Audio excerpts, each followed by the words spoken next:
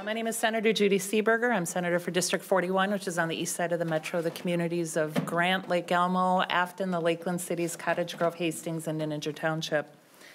When I'm not a senator, I work as a paramedic. I work for a few different agencies, from my local fire department to a hospital health system. Um, and I uh, run calls everywhere from urban settings to rural settings to suburban and kind of everything in between.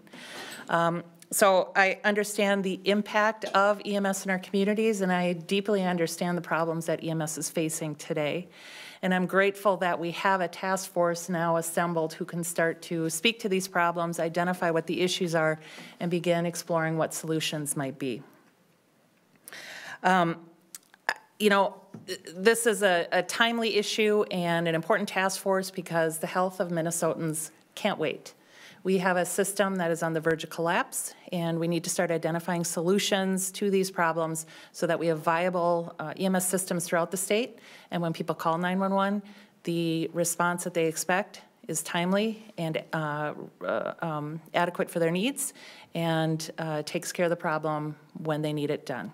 So on that note, I want to introduce uh, the next person here to speak. Uh, Dr. Mike Wilcox will be talking a little bit about uh, rural EMS and why this task force is needed. Doctor.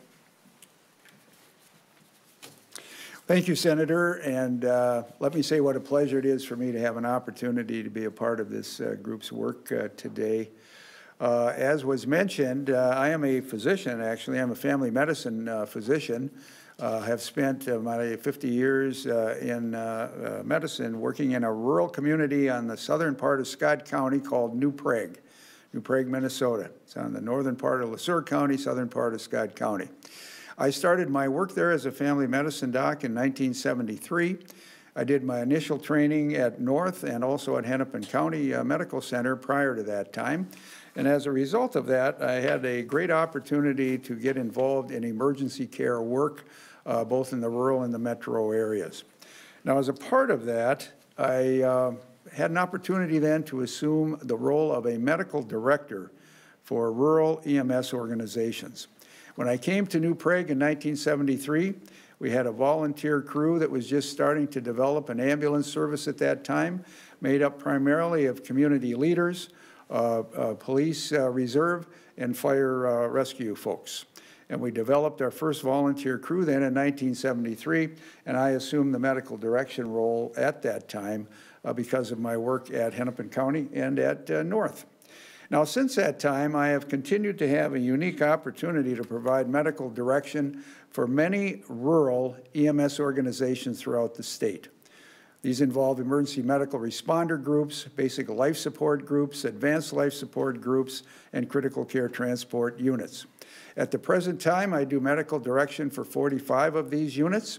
I also do medical direction for six training and educational uh, organizations and programs, uh, three of which are within the MnSCU system. And during this time, we uh, train our EMS personnel to that certification of basic life support or advanced life support responders. I also, over the last 12 years, have had a unique opportunity to train and educate seasoned paramedics and seasoned EMTs to a higher level of service called the community paramedic or community EMT. These individuals can actually do house calls within their communities and provide support within their communities outside of their 911 response. I am concerned, as Senator uh, has suggested and as uh, Representative Huot has suggested, I am concerned about the sustainability of EMS in the rural parts of our state.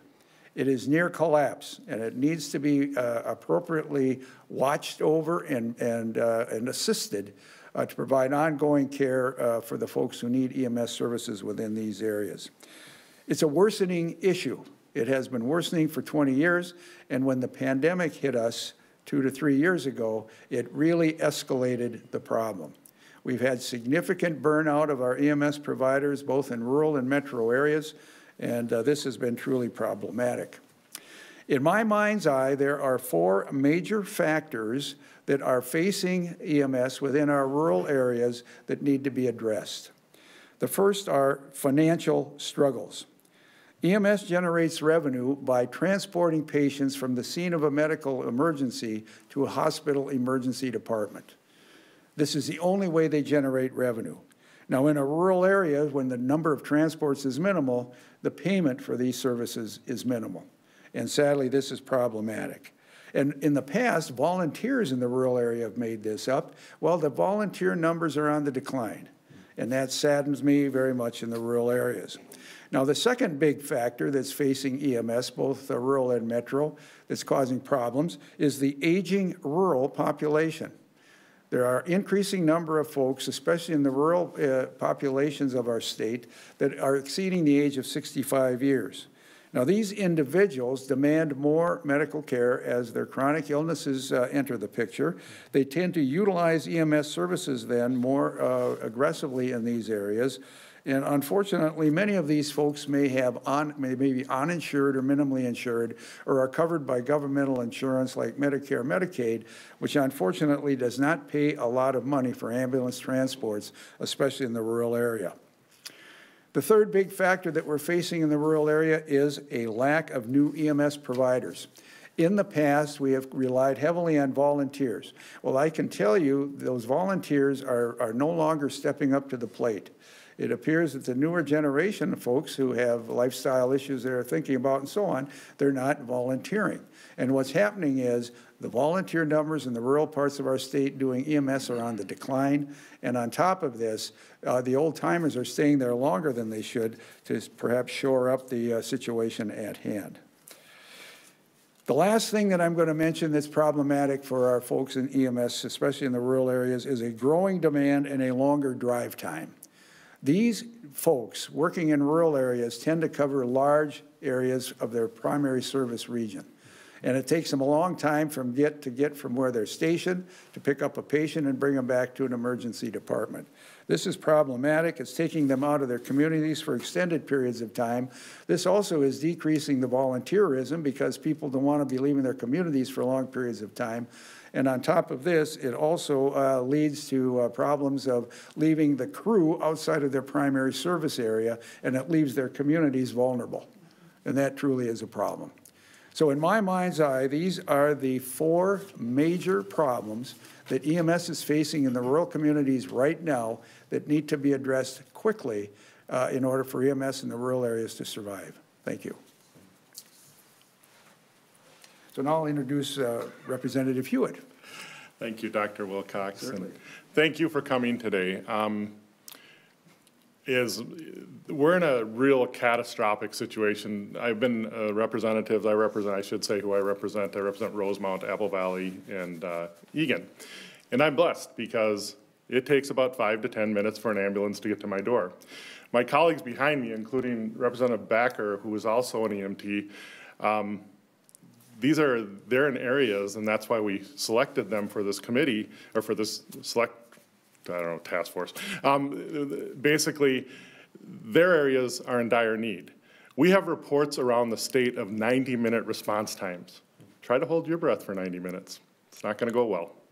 And so we need to dig into this problem and fix it. It's dire. Um, I'm a 30-year EMT. I worked my whole career. Um, I have a hearing aid to prove it. The ambulance has done me in. So um, I, I, know this industry, but it has changed. And like Dr. Wilcox related, it's everything from volunteerism to long extorted ambulance rides. So what we're going to do as a group is we're going to work hard to get public input. We're going to work hard with these great people behind me because this is not a Republican, Democrat issue or not a Senate or House issue. You can see all of us are here and we're excited to dig in. But the press also, I'm hoping, has a role in this. What we really need, and I get to do the ask, we need you to step up and get those public inputs for us. We know what the industry is going to tell us, but we don't know what Joe Public or Sheila Public is going to tell us. And we really need their engagement to really tell us what EMS means to them. Is it okay if they have a 30-minute response? I'm thinking not, but I think the public has to engage us and let us know what their expectations of EMS are. A lot of people feel that EMS is nothing but the local fire department. That's not true in so many cases.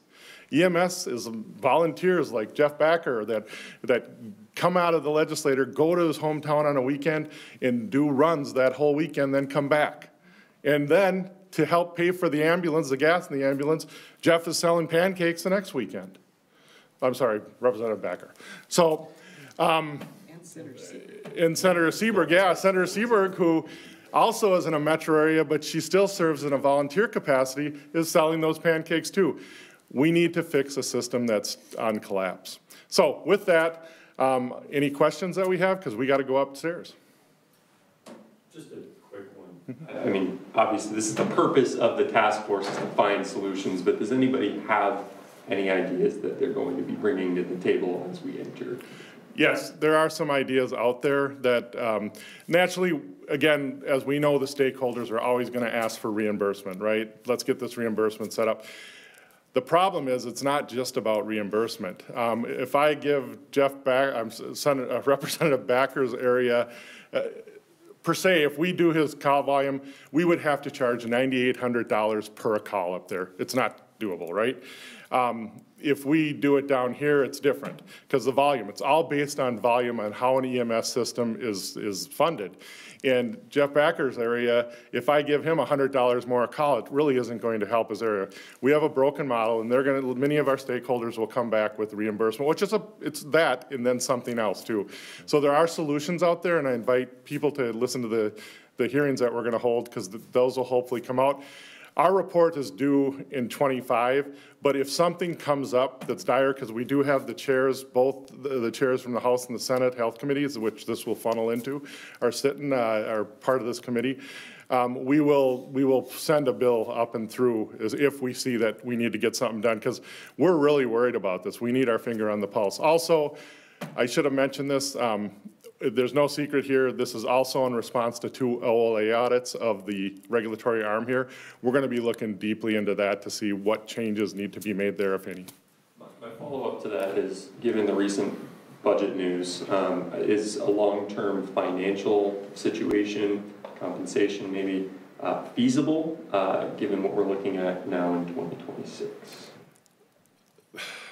That's a good question, okay? Um, the budget isn't, you know, that budget doesn't fund, there's so many needs, right?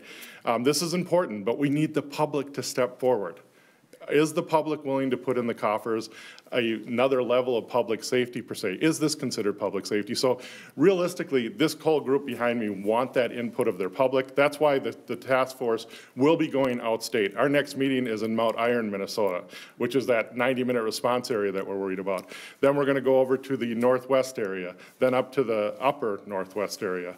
So we have a number of areas, but we need to get that answer. And then I don't think anybody behind me is going to be afraid to come back to their colleagues and say, hey, here's a funding mechanism that we're, we're interested in, and we can start the debate on that as a House and Senate. In other words, this will be an important enough issue that it can get the support it needs? Yeah, I, I just heard Representative Backer say yes. If I may say just one thing, with, with your question, you know, funding is important, but um, as an EMT, just like Senator Seeberger, the workforce issue is a major issue. You know, um, I'm not getting any younger. I have a birthday coming on in January, and I've been serving as a volunteer for 29 years. So we're going to be looking at the workforce because when someone dials 911, they are dialing it because they have an emergency. And that's why Senator Seeberger, myself, and so many of our great colleagues in this prof profession serves. We just have to, we have to make that foundation stronger. It is on a weak foundation. And I'm looking to work, looking forward to work with my colleagues on the other side because this is not a partisan issue when you dial 911, if it's an elderly mom, dad, or a newborn or a child, you expect professional care. Minnesota has a great tradition of providing great care. We have to look at a different model because the volunteerism is not as sustainable because we are volunteers like myself um, and Senator Seeberger, we are subsidizing that delivery of care in greater Minnesota. So when folks from the metro area comes out and enjoy our Great Lakes, and they dial 911. If it's up in Fergus Falls or up in Clay County, they expect that. So we're going to be, we have solution which we believe with workforce and so forth. So, and I do want to a shout out for everybody out there in Minnesota who, over the years, who have served as a volunteer in that capacity. Um, uh, on behalf of the committee, especially Senator Seeberger and myself, thank you. We appreciate that. Maybe I could make a comment too with regard to the, fund, the funding question. So Representative Tina Liebling, I chair the House um, Health, Finance, and Policy Committee, so this would, I assume, be in my budget. And um, I, I'm serving ex officio on this committee, and so is Senator Wiklund, who wasn't able to be here today, and she's my counterpart in the Senate. So I just wanted to say that there may be many different ways to fund the needs. And um, I, I think our goal here is to think about ways to do it and, and to put it out there. You have to start somewhere. This is not a one-year problem. This is a problem, we need to really make some big changes in the system, either in the finances or the structure of the system, or, or probably both, um, as Dr. Wilcox was talking about. So um, it's, it's not just a matter of, is there money this year? It's a matter of figuring out some long-term solutions, uh, because clearly there is some money in the system. This is a critical system for Minnesota, and so it's really incumbent on us as legislators in both parties and both bodies to figure this out long-term for the good of Minnesotans who absolutely need and deserve that service wherever they live in the state. Yeah, I'm curious kind of what the timeline is for the task force and what the end goal, I, I assume it's recommendations uh, for the broader legislature, but I wondered if you could give a little more detail on that. Yeah, so if we see an urgent need, we will report right back to our prospective houses um, with, with a bill in hand, could be sponsored by anybody here. And so uh, the timeline, though, as our report is due uh, 25, my person's not here to talk about that right now, but um, we do have a report due back to the House. I think that you will see more activity, though, before that, because we, for instance, if we have a 90-minute response and it seems to be a trend, we need to deal with that as, in our prospective houses right away. So hopefully that answered your question. Is there one more I thought I seen somebody come up with? Probably not.